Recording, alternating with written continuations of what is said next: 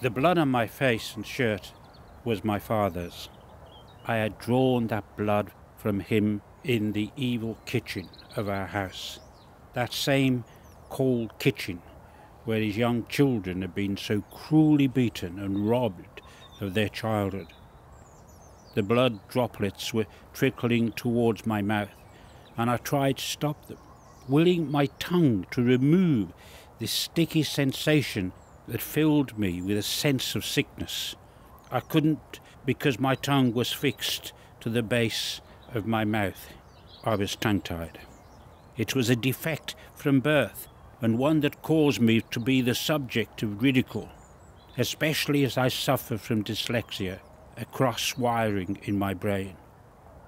I was slowly sinking deeper and deeper into myself.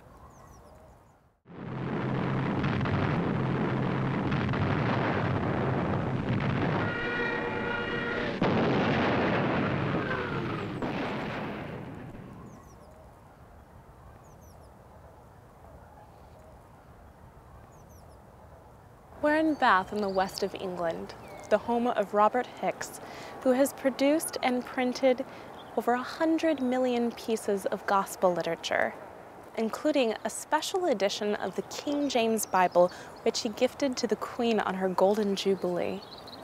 Growing up, he suffered abuse, neglect, being tongue tied and unable to read and write. His life changed when he found a Bible in the darkest of places.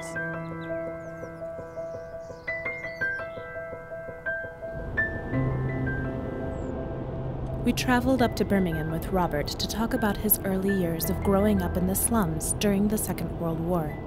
I cannot remember any good thing of that slum area late at night. You heard the husbands who had gone out for a drink coming back drunk.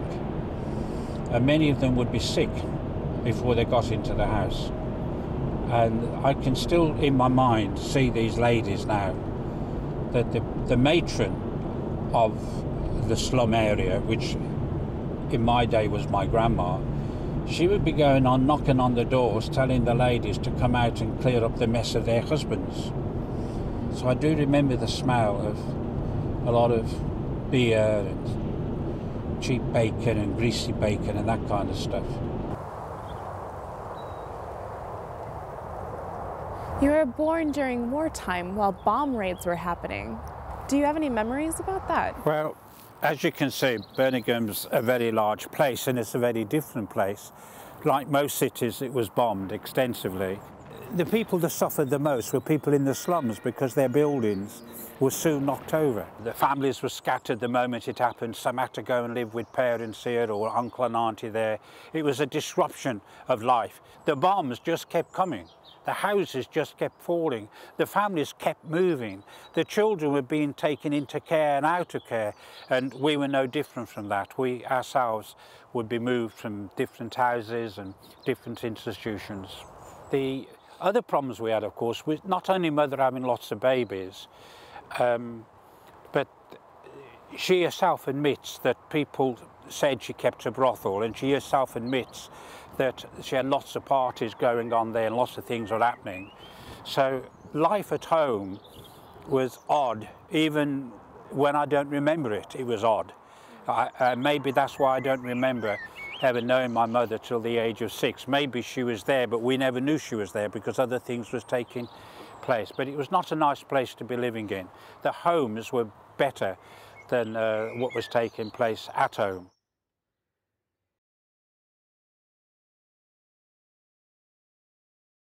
In 1946, Robert was in a care home when his mother collected him just before Christmas. He remembered it had been bitterly cold. In fact, it was one of the coldest winters on record. She brought him to 335 Stonehouse Lane, Bartley Green, their new home. This would be the beginning of a nightmare that would last for years to come. What were your first memories? My, my memory was coming into a, a house and snow all round. So everything was pure. So just opposite to the slums, it looked clean, if, clean but, it, but it felt cold. There was five of us in one bed, just where that glass there is now, that window is now, five of us in one bed. And that's quite a small room. It may look on the outside large, but actually it was quite a small room. How long was it until your father came back? Not long afterwards. And when he came home, I thought he was a hero from the war, you see. Within 48 hours, that picture that I had of a man being a hero in the Second World War disappeared. Immediately there was arguments and fights and it was a very violent house. Both mum and dad were violent to each other and you kept out of people's ways. What about uh, things, basic needs like food and clothes? we didn't have proper food, nor proper clothes. We had to be clothed by charities. But I can't remember sandwiches, I can't remember, you know, anything put on them. Um, if it wasn't for free school meals at school, then I think we'd have very likely died of food.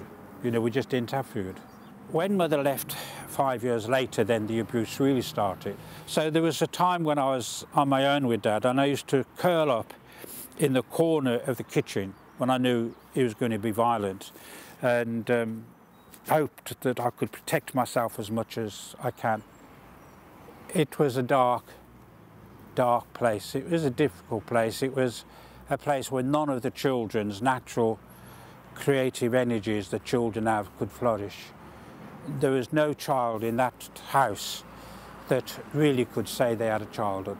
So Robert, now after all this time coming back, what are you left with?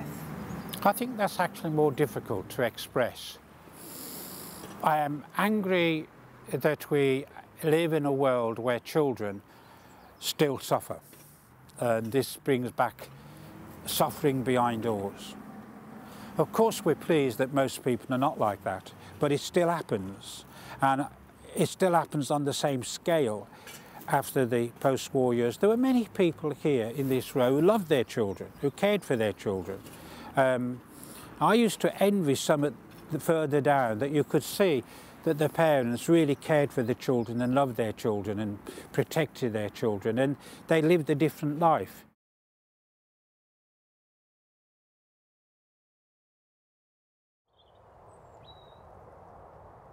One place Robert could find some freedom was the countryside, which was on his doorstep.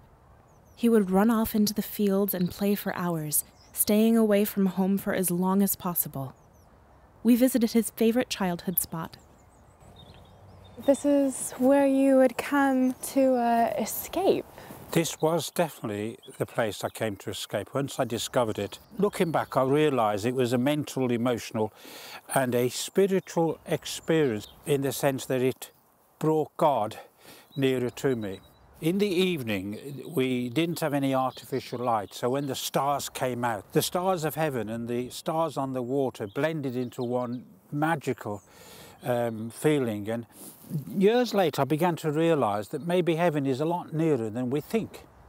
So your mother left quite suddenly, and after she left, how did things start to change in the home? Well, everything changed. Um, first thing, we were put into institutions, why things were sorted out with local authorities. And after a time, we came back to live with Dad, which was a big mistake. I can remember when Dad had uh, hit Brian many times in his leg, and I thought the leg was going to come off. It was so bad. When Brian went to school the next day, he um, he said he'd fallen off a bike and he hadn't got a bike and he didn't know how to ride a bike. But in those days, people turned a blind eye to things. Today, they wouldn't. Donald was the first one, the oldest. He'd been taken away. Then Jean was taken away. Then Bernard and Brian was taken away. Jack himself had been sent to Switzerland for convalescent because they had a, a very heavy asthma attacks, uh, big attacks. And suddenly I was on my own with Dad who I became the object of um, a lot of his cruelty. Um, I used to do the washing and the cooking and the cleaning and all those kind of things. And I used to try and do it in such a way that he'd have nothing to criticise, but he always found something to criticise.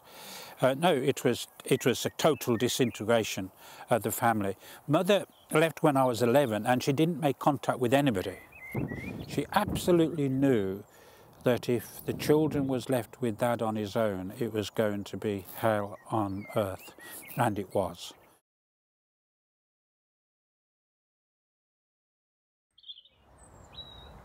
When your sister came home, your father's abuse escalated. It did. Jean got the worst. Um, I don't know whether she was 13 or 14 when she started being raped, but when she was being raped, he wasn't bullying the boys, or in this case, me. Um, and I didn't know what was happening, and she didn't confide in me at all. But she tried to commit suicide, and I couldn't quite understand it. I knew the home life was bad, but I didn't realise she was going through a second hell, whereas we was going through a first hell, she was going through a second hell. I do remember that she came and said, let's kill Dad. And I said, well, how are we going to do that? So we thought of various ways, but the only one that seemed to appeal, that we would gas him, that we would um, make sure that the gas in his room was on when he was asleep and we put some blankets or coats to stop the thing. It wouldn't have worked because the windows would have needed to be sealed because they were so bad. Um, but we didn't do that. With having two major setbacks of being tongue-tied and dyslexic, what were some of the frustrations you had in school, at home, making friends? As far as the school was concerned, I just began to believe that what everybody else said, that I was an idiot. The, the psychology of being called an idiot so many times, I think I actually began to believe that maybe I was um, damaged mentally in some kind of way. I didn't know that I was dyslexic. Um, I didn't even know I was tongue-tied. I just felt that I had a problem speaking. There's something wrong with me. Didn't make friends. How do you make friends if you can't communicate? When it came to English lessons, I couldn't do them. I could do maths easy and no problem with analytical work. But when it came to um, anything to do with English, not, not at all. So it was bad news. When I left school, the headmaster had given me the certificate so I could leave school, but he also said, what a waste to me, very quietly, but he said, what a waste. And I had felt I was a waste. I felt I was nothing, I was a nobody. I felt there was nothing there at all. And the obstacle for my future was my father, and I decided that I would fight him come what may. Normally I would go into a corner and curl up. And when Dad began to flex his muscles tight, then you knew something was coming and his muscles was beginning to flex. And I decided I was going to, to do it. So I hit him with all the force that I could. And his head did come down and my knee did go up and I did loosen two teeth and get rid of one of them. And then while he was on the floor, I ran into the small pantry, put a, um, a broomstick up against it so he couldn't get in. So I stayed there most of the night then. And he eventually went off to bed and he never kicked me again. And when I first started work, this lady, Mrs. Siddle, worked in the same shop that I was the errand boy and she was a nurse. She'd gone through a divorce and so she had to pack in nursing to look after her two teenage children, so she worked daytime in the mm. shop. And she used to give me spelling lessons, frustrating spelling lessons for her and for myself. And then she said, can I have a look? And she said, you're tongue-tied. I said, go to the doctors tonight. I was in an hospital within two weeks. Can you imagine it? Two weeks. And the surgeon had all these students around him because they wanted to show the students what happens if you're really tongue-tied, if it's left. Most children, if they're tongue-tied, within a few months the operation's there. And it's, it's, not a big operation. But what I had was two membranes, one each side. And um, inside my mouth, they're rolled up. You can still feel, I can still feel them when I, when I want to. That was when I began to realise I wasn't an idiot. And the surgeon wanted me to do the letters of the alphabet before and after the operation, but he realised I didn't know the letters of the alphabet. Mm. So afterwards, when I saw him, he encouraged me to write out by hand the biggest book I could find.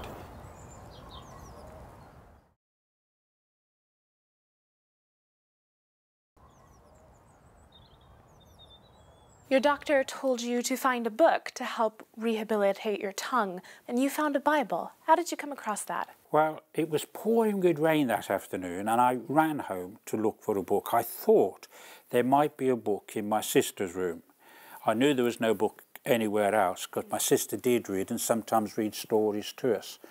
and um, I was very disappointed to find no books at all. I knew there was scrap paper in the cupboard downstairs uh, where Dad kept his belt, and I thought maybe I could start with scrap paper. But I didn't expect to find a book. Next to my father's army belt, which he did use on us, unfortunately, it was a King James 1611 Bible. It had 1,400 pages in it, um, and I thought that's a big book. And over the next 18 months, I was determined to learn to read and to write. And um, I found that as I got to write and write, things kept jumping into my head as the surgeon said he would do, and I began to pronounce the words.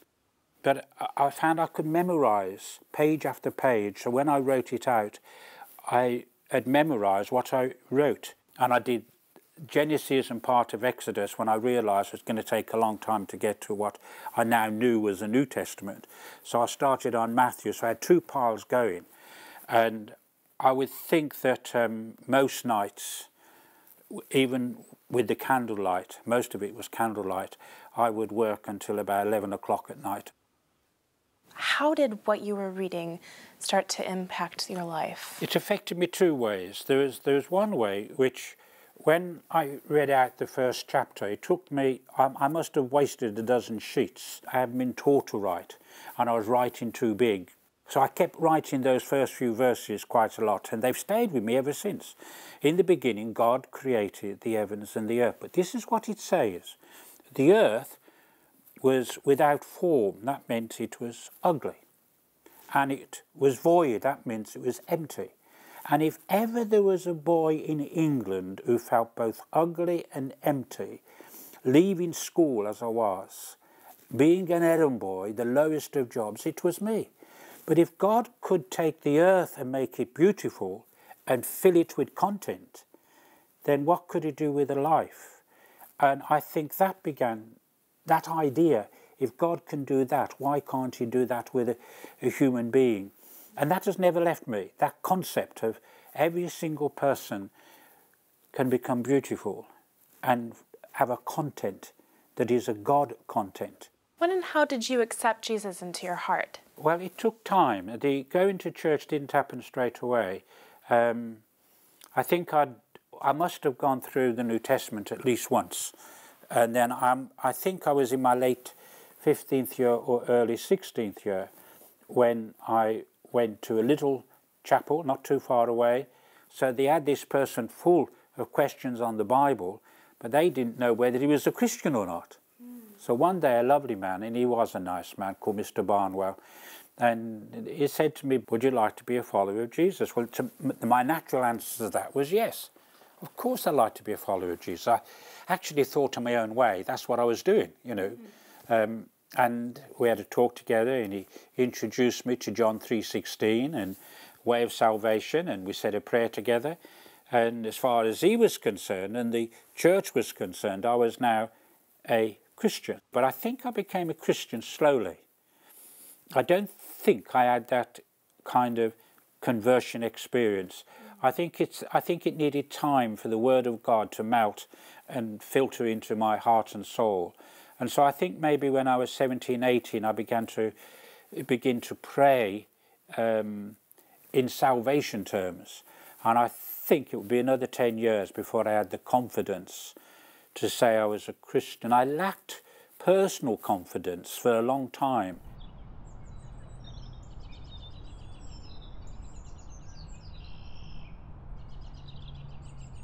Robert has made a huge success of his life.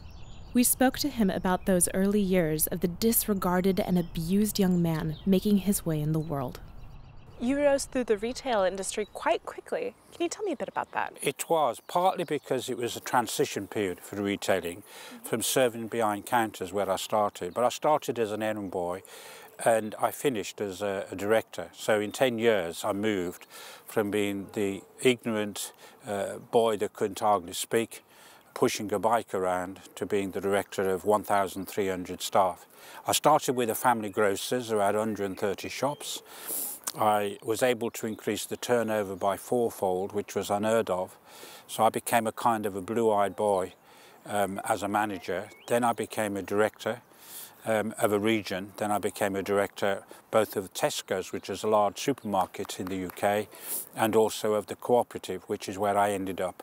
Uh, my, my major job was when the cooperative was a very large operation in the United Kingdom that we ended up opening the very, very first hypermarket in the UK.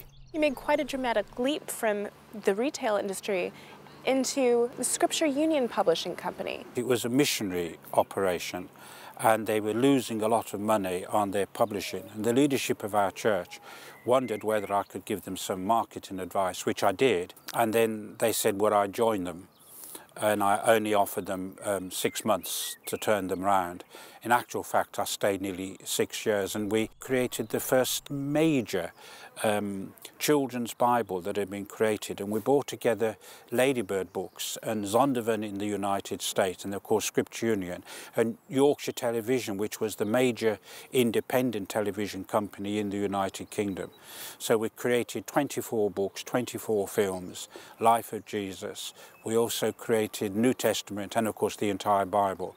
And the entire Bible was on the best-selling list of one of our major retail operations in the UK called W.H. Smith for 10 years. From there you moved into doing your own publishing company. Can you remember a bit about those early years? One of the things I realized in the publishing world that networking was important. And so I was able to persuade various organizations to get involved. CWR was one, which was a, a, Bible reading ministry similar to Scripture Union, and we did over a million full colour publications for them. When the Billy Graham people came over for one of their missions, we was able to persuade them to use a colour Bible gospel rather than their plain gospels, and I think it affected the Billy Graham organisation since because they now do a superior, better gospel to give away. That was that was a Gospel of Luke, we also have been working for students, so we realised that the student market needed to have something they could share with their students who were not Christians. So we produced Bible Gospels for various universities. And one was for Oxford, the famous city. And the person who was leading the mission was a, a man called Nigel Lee.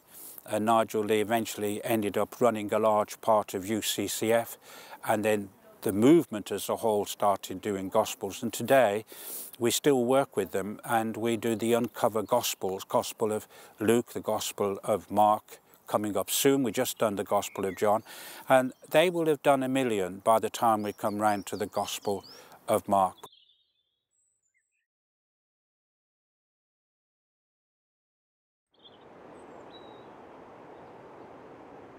The past seemed a distant memory, and Robert's life was moving forward, but things were about to come rushing back. After 28 years, your mother walked back into your life. It was 28 years, and at no time did she ever ring or send a card or a greeting, either a birthday or a Christmas card to anybody. My brothers and sisters tried to find her through various means, but they, they couldn't. And then after 28 years, I was coming in from Heathrow Airport. My wife said, your mother's made contact after 28 years. And a few hours later, I went to pick her up to take her to the rest of the family from where she was living. It was about two and a half, three hours journey. And she was nothing like I thought she would be. She, of course, was 28 years older. She was much smaller than I thought. She wasn't small, but she was smaller than I thought. And I found out the person she was living with had died six months earlier, which I think was one of the reasons why um, she came back. But I couldn't find anything out about her life at all. Every question, every thought seemed to say, um, I don't want to tell you. Not, not once did she ever say sorry. Not once did she have a, any regret. And um, she died a, a few years later. And whatever happened with your father? Was there any reconciliation with him? Uh, my father had died by then, some 10 years earlier. He, he died from cancer and he died, relatively speaking, quite quickly. And he never wanted to say sorry to anybody except his daughter. And he wanted to say sorry to my lovely sister Jean, but found it very difficult to do so. And I was in the room, he wasn't aware I was in the room, and he was trying to apologise for the past and he was blind to the other sins that he committed against his, his sons, and there were real sins against his sons. And it was a, a kind of a, a peculiar way of dying. A man wanting to say, I am sorry, I, what I did was wrong, but not quite being able to do so. Your wife, Joyce, and you received some very devastating news. Yes, my wife had cancer when she was 18, but we didn't know until she was 24. And it was um, already a bad cancer. And they said if she survived five years, then we could look into the future. And it was about 15 or 16 years later that we realized the cancer had spread throughout the body. And she had a, an unusual form of melanoma cancer, which meant that it attacked the fatty tissues, and that meant she lived a lot longer. But we had um, eight operations. I think we removed something like 30 tumours, and she never complained. Not once did she complain. And um, she got on with the life as best as she could, uh, know, know how. She already was a, a very strong Christian lady. She had a very personal faith in a living Christ. She changed my life because it took me a time to realize this. She actually loved me. And to be loved and to know you, you're loved by somebody is a transforming experience. It's, it's one of those peculiar things. You can have everything in the world, you can be extraordinarily successful, but if you haven't got love in your life, or if you live a life that keeps love away, it's a damaging experience. But I had to grow into it because I didn't believe it to start with. Shortly after she died, you experienced a personal setback with a huge financial crisis. We had um, a large property company as well as a publishing company. And in England in the um, 80s, there was a property collapse that lasted about eight years. And I had, I think, about 32 properties, and every one of them was now below the value that we bought them at. And the banks, not being kind, wanted their money back. So I think we lost about one and a half million pounds.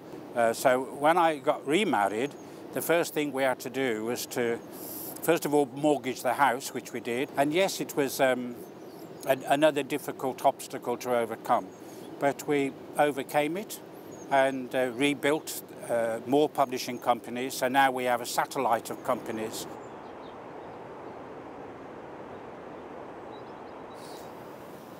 You've come from very humble beginnings, and now you own a major stake in this park, one of the top tourist destinations in Britain.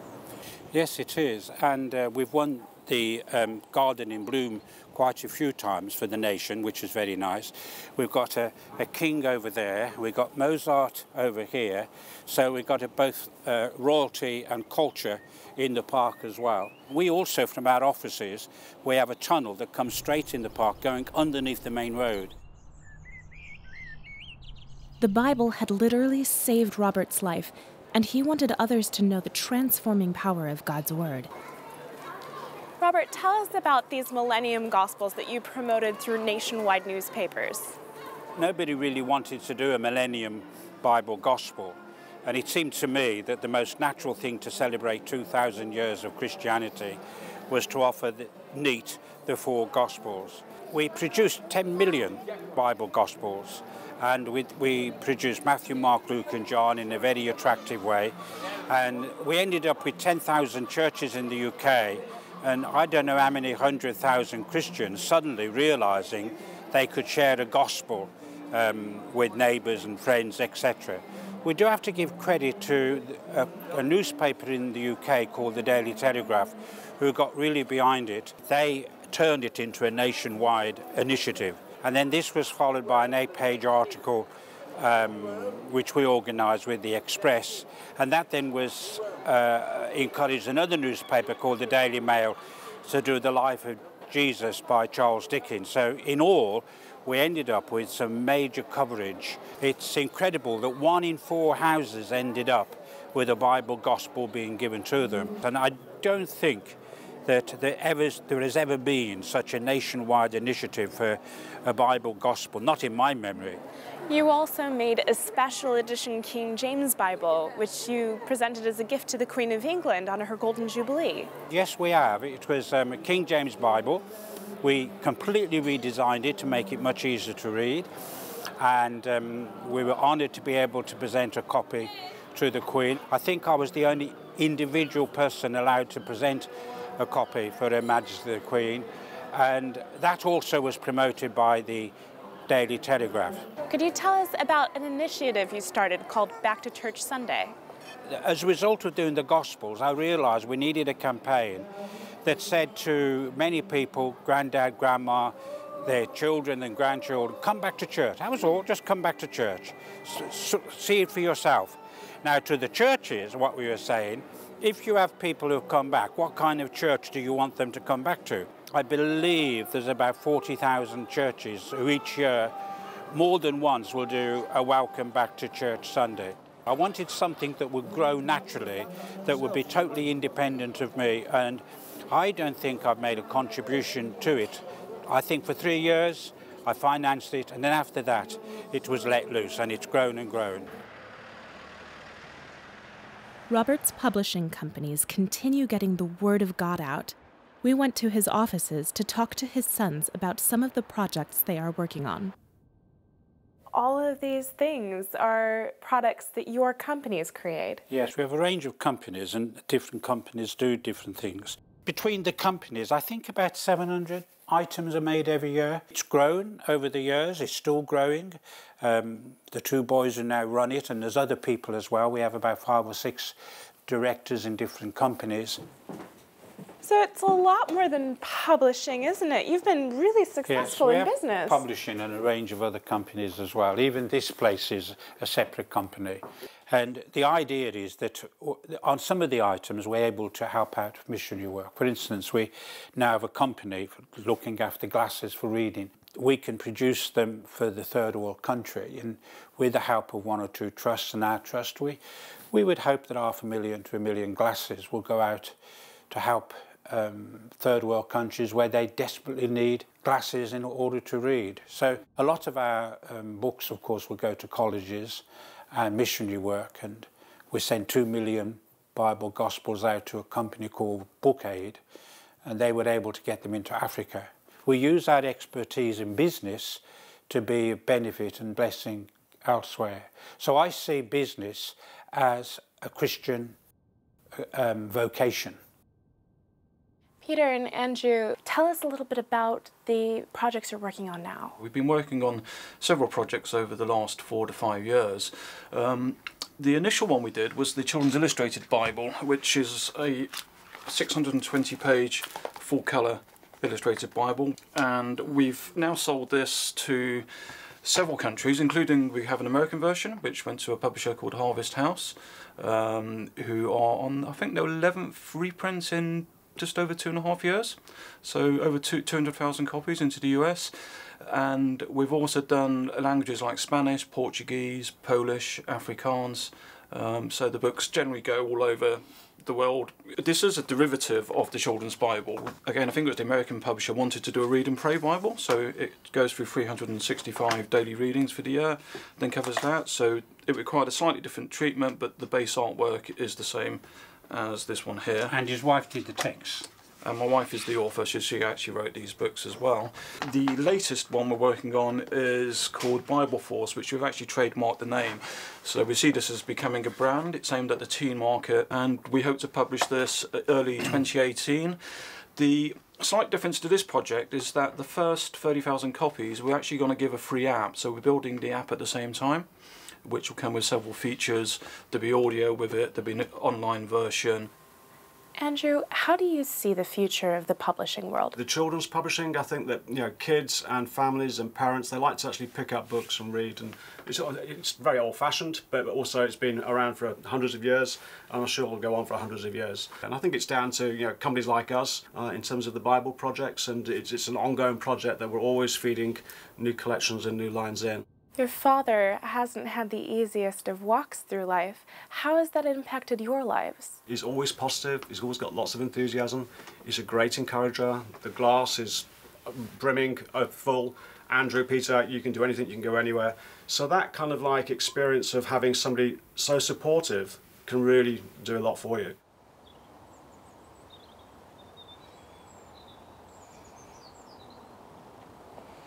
Robert has had an incredible journey. We're here at his home now to find out a little bit more about his life. In going through childhood abuse and bullying and dealing with dyslexia your entire life, what advice would you give to someone going through the same thing? Well, I do meet people from time to time, and I have found that the most important thing is to, to love them and to be quiet first. Um, they need they need a space to work out their own emotions and their own feelings, and eventually they they come up with, with questions. And one of the big questions all these people come up to, and I'll come back to one or two illustrations in a moment, is the, the sense that they are to blame for the things that they have happened. Somehow they made what happened happened. And that is common, I've discovered, blaming yourself. And I know I blame myself for being who for many years, so I know where they're coming from. When I was in the institutions, I seemed to be able to gather boys around me who were empty. Their eyes were empty. Their, everything inside them was empty. They had nothing and they, they wanted to hang around me as if they were hanging around a mother or a father because they were so empty. Now, some of these had lost their parents in the war. Some of them, like myself, had been abandoned by their parents. Some of them been in an abusive families. And they needed somebody that would be their champion. If they can find somebody in the church, and I'm talking here godly men, godly women with hearts of love, if they can find somebody who can be their champion, that is by far the best thing. Not to be a philosopher or a theologian, but to be a person who would love them and take them and give them a sense of security. And I found that for me, Mr. and Mrs. Wise and their daughter Valerie, who was younger than me, they became um, psychologically the home, the people that I needed. And I have discovered again and again and again and again that with people who have been abused, and my lovely sister, of course, was raped in her teens by her own father, and she had to come to terms with that. And I've only talked to her about three, three or four times with it because it's so painful uh, to talk about those things. Champions. Who are the champions in our churches and in our chapels and in our fellowships and in our home groups? The people are going to say, I will adopt this person or this family or these people. Now, both my wives, my first wife and my second wife, have been very good at that. Extraordinarily good at adopting people. The Bible has clearly had a huge impact upon your life. What might you tell somebody else who's just coming into contact with the Bible for the first time? I cannot think of anything greater than to be able to talk to people about the love of God in Jesus Christ, given to them by the Holy Spirit, and that love jumps out of the Bible. So it, it, it's as if the Bible is a kind of a 3D book. It will remain um, a flat book to most people. But the moment they open their hearts, things are jumping out of the Bible. There is stuff on the surface of the reading of the Bible that are incredible. We, we mentioned John 3.16, which most people know. God so loved the world, that's on the surface. The next verse goes a bit deeper. People love darkness rather than light. That's a little bit deeper now. And that's the next verse. And, and it begins you've been, so wait a moment, I actually prefer to love darkness. I want to do things my way. I don't want this love of God. Give me the light nights, give me the, the music, the dance, give me a, a selfish way of living and let my life be absorbed with this world and these things. And what John 3.16 is saying, oh no, I can take you and you'll never perish. You'll never ever be in a position that you're in darkness and wasted. You'll never perish. So I love just talking about the Bible, no matter what part of the Bible that um, I'm talking about. What I do know is God loves people, every one of them, no matter who they are, where they are, what they are, how they are, and why they are where they are. He loves them. And he, he, wants, he wants to enter into that relationship. Um, God doesn't dwell in buildings made with hands, He dwells in people. And if we think that by going to church, God is there, God is only there in as much as is in people. And if they are in the supermarket, the next day is as much in the supermarket in them as he was in the church before. And if we can grasp that, then we can reach out to people many times. So, yes, I think we talk to people and we develop the habit of sharing the Bible, the good news of Jesus with people. That's life's work, and that's worth living.